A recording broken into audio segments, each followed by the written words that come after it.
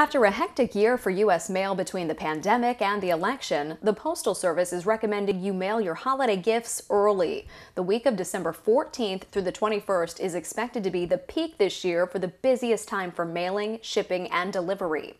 With more online shopping expected than ever before, the USPS is expanding Sunday deliveries in high package volume locations.